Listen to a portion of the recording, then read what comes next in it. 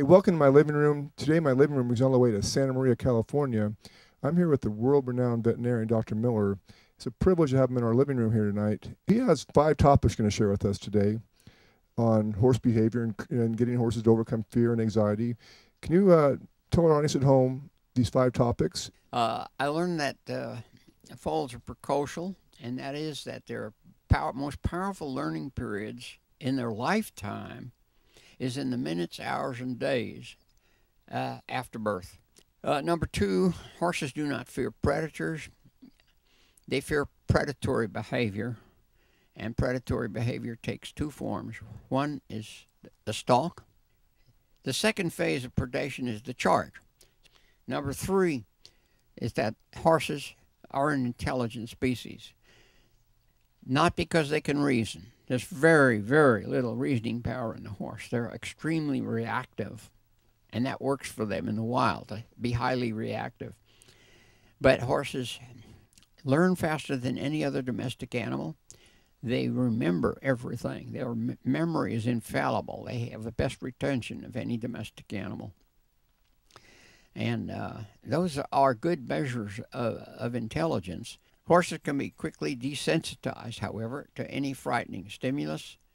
The three methods flooding, constant exposure to the frightening stimulus until the horse ignores it. That usually takes somewhere between 30 and 50 stimuli.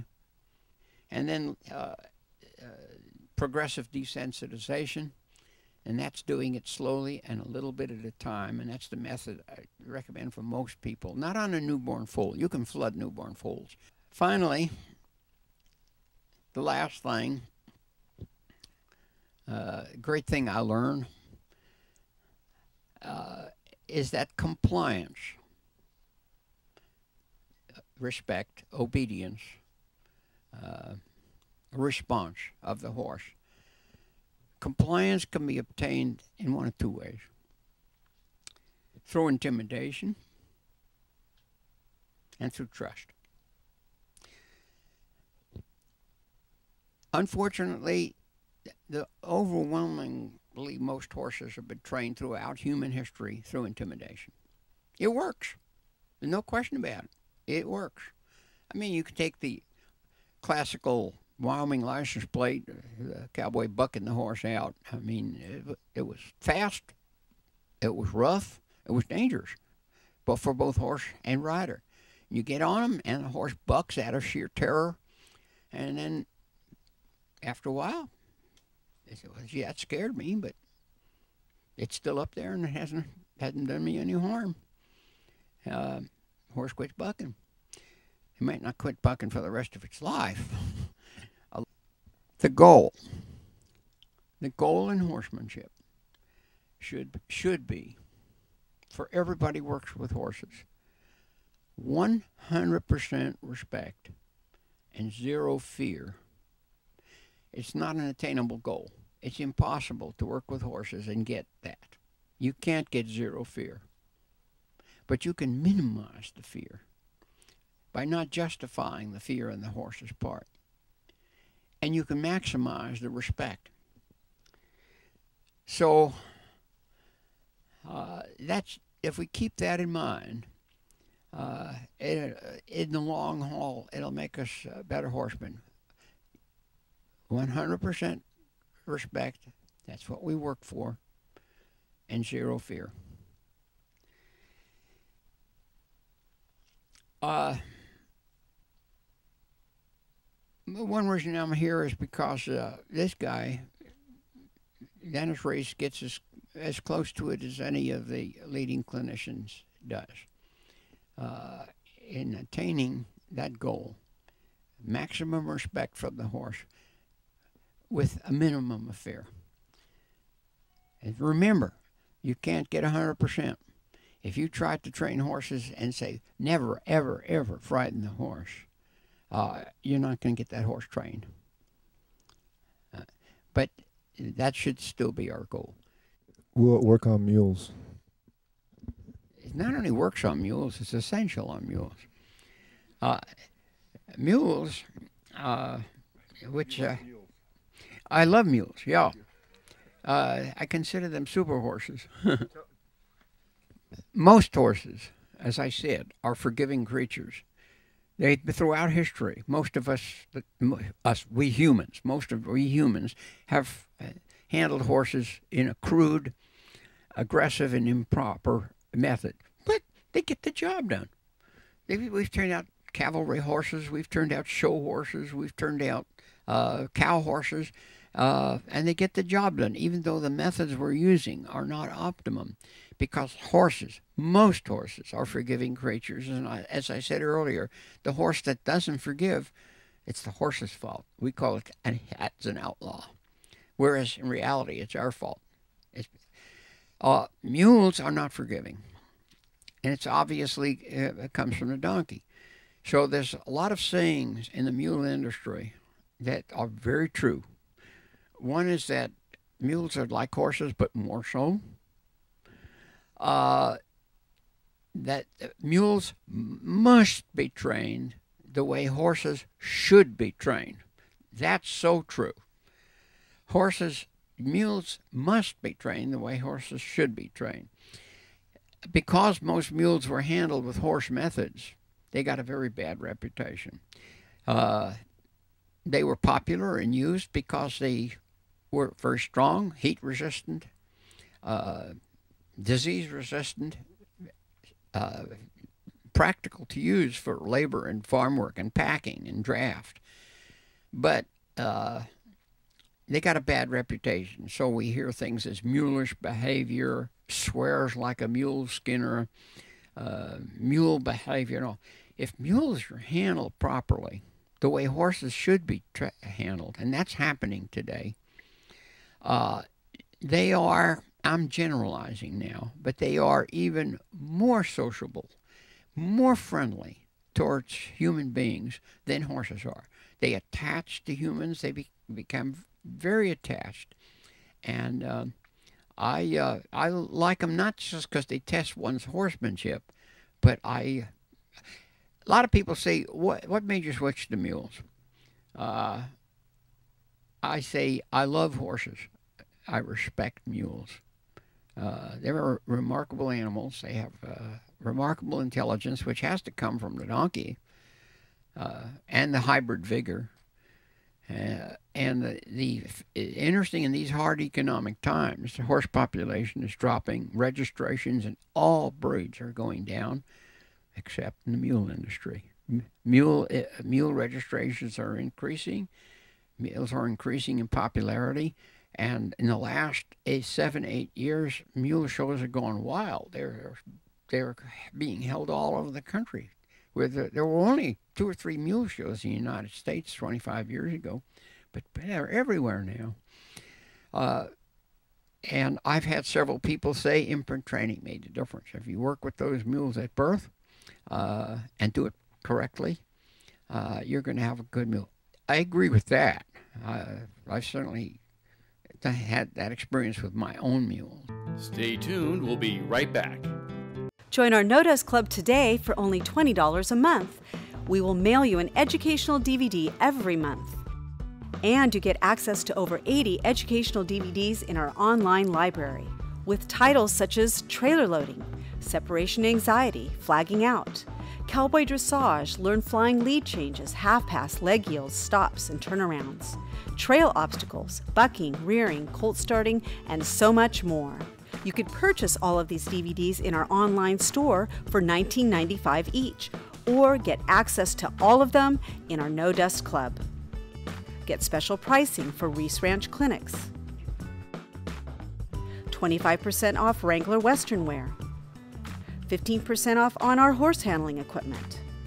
Private access to the members only online discussion forum help and support from Reis Ranch instructors, and access to our live online classes.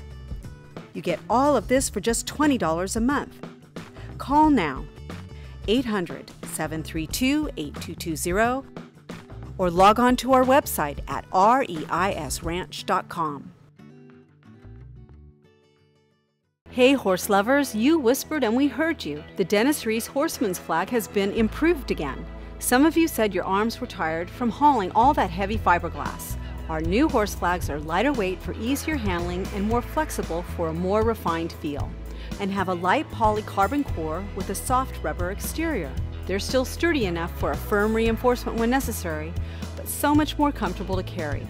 They come in four fabulous, fashionable colors ruby, sapphire, onyx, and emerald. Of course, our flags still have an ergonomic grip and hook for safely entangling rope or cinching a difficult horse. Order yours today. 800 732 8220 or order online at reisranch.com. Announcing year round clinics at Reis Ranch, Penngrove, California. Ride for one day, seven days, 14 days, 24 days, 60 days, or year round. The next Reis Ranch clinic begins October 18th through October 31st. Ride one day, seven days, or all 14 days. Or take advantage of our weekend specials where two people can ride for the price of one. Call today for cost and information 800 732 8220 or reisranch.com. Don't miss out.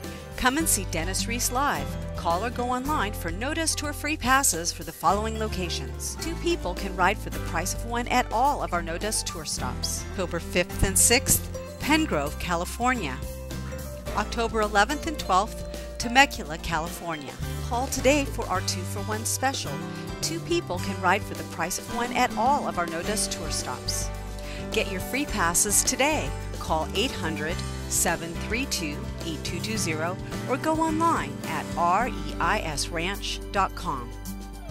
Welcome back to Dennis Reis Universal Horsemanship. Mules sh- must be trained the way horses should be trained. I've heard that same line, and I've I've said mules demand the way a horse should be developed, and so um, they demand it. And maybe you can share with us why no more than three times. Kind of like this get it, got it good principle when you introduce it to a mule. Why, when you over exceed that with a mule, what the mule typically does, they're stubborn like a mule. And why a horse will tolerate so much injustice to a point, then the horse is deemed a rogue. I'm not sure I can answer all of that, but you have to, you know, dealing with uh, zoo animals, whether I'm looking at the nutrition or uh, behavior or anything else, I go back to what nature designed. Uh, so, for example, I preach to the owners of the big cats. Uh, in the wild, the big cats don't eat meat; they eat other animals including the blood and the bone where all the calcium comes from. So I encourage them not to feed straight meat uh, because in the wild they don't eat straight meat. They eat the whole animal. The cat eats the whole mouse. Uh, so I always look at what nature intended. The horse evolved on open prairie, uh, open grassland, uh, surrounded by hungry cats and hungry dogs saber-toothed tigers, uh, the, the uh, cave the cave lion, which was stood a foot taller than the African lion. Uh, a lot of species that are extinct now. The horse survived, and uh, it evolved a method of defense, which is uh, flight, instant flight. You see something, hear something, smell something, feel something that you don't understand, run away. And then when you've gone flight distance, which for each predator, for each prey animal, is slightly farther than its primary predator can run. So horses in the wild, zebras, they'll run just slightly farther than, than a lion can charge, and then turn around. What's that? What was that? Uh, and and you can see how that evolved. The horse that stopped running too soon got eaten, and the one that ran too far ran into another pride of lions. So that that flightiness of the horse, that's what made the horse useful to us. Is its flightiness, whether it's on the racetrack or uh, after a cow or into the collar. That flightiness is why the horse is so useful to us, but it's also why we have a lot of problems with horses and their behavior is that flightiness. Now the donkey evolved in steep, arid, rocky terrain where blind flight, what the horse does, could be fatal. So if if the wild donkey uh, senses something, sees something, hears something, it doesn't immediately respond with flight like the horse does. Instead, it analyzes. And it says, I see something dangerous down there, but I'm safe up here. So I'm going to stay here, and nothing's going to make me move. And that's where the reputation for stubbornness comes from. And of course, this is reflected in, in the hybrid offspring, the mule. So when, when the donkey senses danger, it does one of several things. It will either run like a horse, or it will stand still and nothing can make it move. That's not horse like. That's donkey like. Or it will attack. Uh, but that's the difference between mules. They're not that because of the donkey in them. They're not a prime, and some of them inherit more physically, mentally, behavior-wise, physiologically. Some of them are more donkey-like, and some are more horse-like. Today's mule, what we're raising today, we want horse-like. We want the hybrid vigor, but we want them to look as much like a long-eared horse. So we're seeing beautiful mules nowadays because uh, they're breeding top mare now. If you think back 40 years ago when we first started going to Bishop Mule Days, uh, if you see a good looking one out in the arena, you'd say, hey, look at that one second from the right. That's a good looking mule. Now it's the other way around. You say, that's a funny looking mule because they're mostly good looking because of the good mares that they're uh, coming out of. So, and I consider it genetic roulette. You don't know what you're going to get. Uh, if it comes out too donkey-like, it's probably best suited for a, a pack animal. If it comes out very horse-like, uh, you've got a, a, English or Western mule. Uh, you traveled the world doing seminars. You're basically uh, on the road almost 24/7. You travel more than I do, but you travel abroad. Um, where do you feel you've made the biggest impact on giving this message I think the most dramatic change in horsemanship that I've seen has been on the islands of Hawaii. A ranch in Argentina with uh, 2,000 head of horses. And, and the owner's wife, that's significant, was the wife, that said to me, We've never done it that way, but we're going to try a few horses next year. Then the next year she writes a letter. She says, those yearlings are looking good. We'll try a few more this year. Then the next year I get a letter and say, we'll never do it the old way again. that, now that it, it, that hasn't spread all over Argentina, but it's it's made some inroads. The other was Poland. We went in 19 in 2009. We, I went to Poland, and uh, they wanted imprint training, but I I gave them the whole thing. and uh, they wanted to be, uh, they, it was too late in the year for a foal.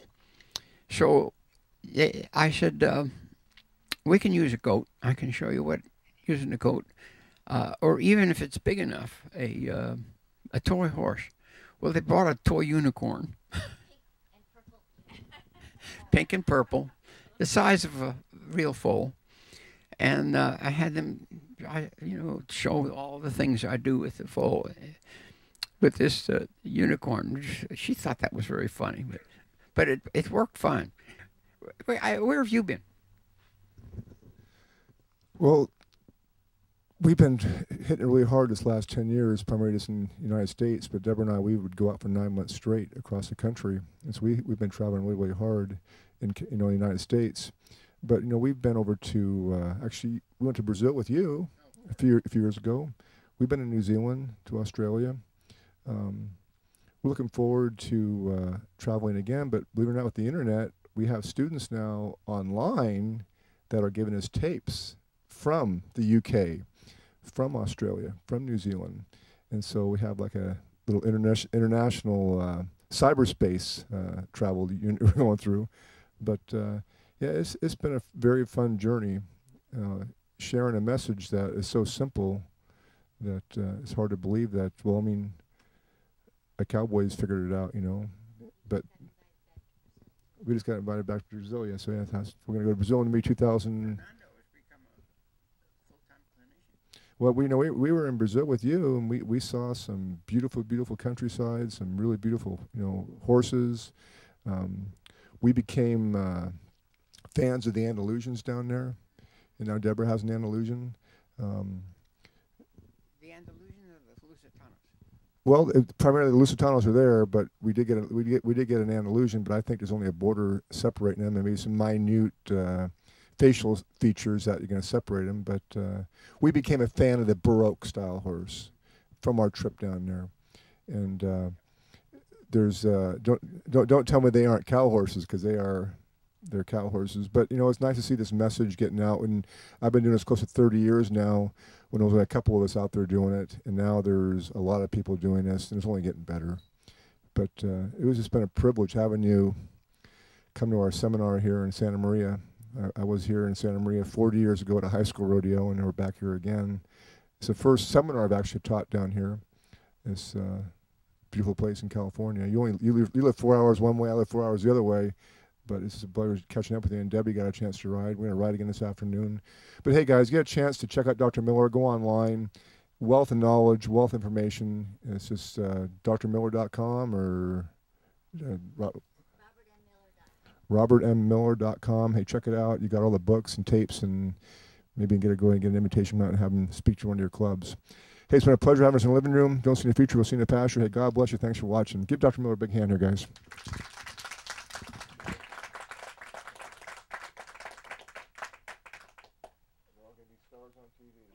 Join our No Dust Club today for only $20 a month. We will mail you an educational DVD every month and you get access to over 80 educational DVDs in our online library with titles such as Trailer Loading, Separation Anxiety, Flagging Out, Cowboy Dressage, Learn Flying Lead Changes, Half Pass, Leg Yields, Stops, and Turnarounds, Trail Obstacles, Bucking, Rearing, Colt Starting, and so much more. You could purchase all of these DVDs in our online store for $19.95 each, or get access to all of them in our No Dust Club. Get special pricing for Reis Ranch clinics. 25% off Wrangler Western wear. 15% off on our horse handling equipment. Private access to the members only online discussion forum. Help and support from Reis Ranch instructors. And access to our live online classes. You get all of this for just $20 a month. Call now 800 732 8220 or log on to our website at reisranch.com. Hey, horse lovers, you whispered and we heard you. The Dennis Reis Horseman's flag has been improved again. Some of you said your arms were tired from hauling all that heavy fiberglass. Our new horse flags are lighter weight for easier handling and more flexible for a more refined feel, and have a light polycarbon core with a soft rubber exterior. They're still sturdy enough for a firm reinforcement when necessary, but so much more comfortable to carry. They come in four fabulous, fashionable colors ruby, sapphire, onyx, and emerald. Of course, our flags still have an ergonomic grip and hook for safely untangling rope or cinching a difficult horse. Order yours today. 800 732 8220 or order online at reisranch.com announcing year round clinics at Reis Ranch, Penngrove, California. Ride for one day, seven days, 14 days, 24 days, 60 days, or year round. The next Reis Ranch clinic begins October 18th through October 31st. Ride one day, seven days, or all 14 days. Or take advantage of our weekend specials where two people can ride for the price of one. Call today for cost and information 800 732 8220 or reisranch.com. Don't miss out. Come and see Dennis Reis live. Call or go online for No Dust Tour free passes for the following locations October 5th and 6th, Penngrove, California. October 11th and 12th, Temecula, California. Call today for our two for one special. Two people can ride for the price of one at all of our No Dust Tour stops. Get your free passes today. Call 800 732 8220 or go online at reisranch.com. Hi, this is Deborah Reis, and we feed all of our horses Elk Grove Milling Stable Mix feed. What makes Stable Mix the right choice? There is no corn or molasses, and it is a complete feed that's weed certified free. It includes all the necessary daily vitamins and minerals and has bran for the coat and biotin for the hoof. For more information, go to elkgrovemilling.com.